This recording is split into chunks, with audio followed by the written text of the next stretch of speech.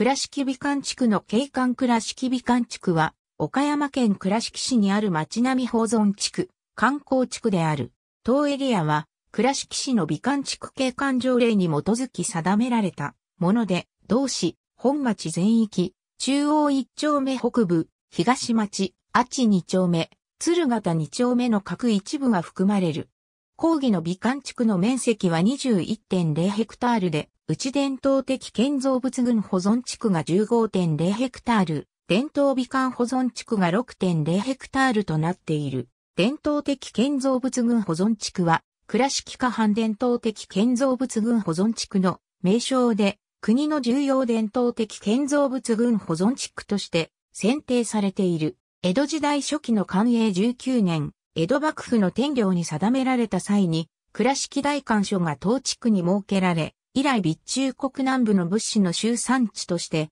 発展した歴史を持つ、倉敷川のあぜから鶴形三南側の街道一帯に白壁生小壁の屋敷や蔵が並び、天領時代の街並みをよく残している。1969年に倉敷市の条例に基づき美観地区に定められ、1979年に県内2県目の重要伝統的建造物群保存地区として選定された。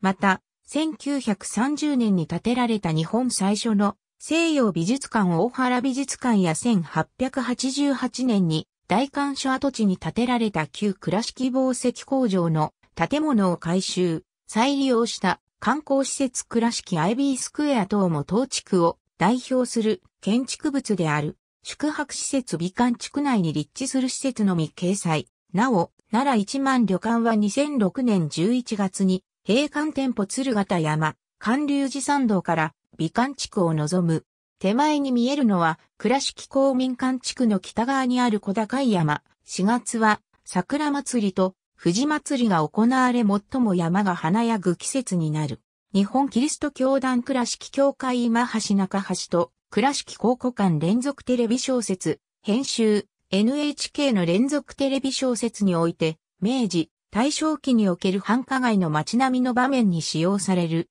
ことがある。徒歩自転車バスタクシー在来線新幹線、山陽新幹線小玉に乗車する場合は、新倉敷駅も利用可能だが、倉敷駅から在来線の営業キロで 9.3km 下りに離れているため、在来線上りへの乗り換えが必要となる。高速バス飛行機、ありがとうございます。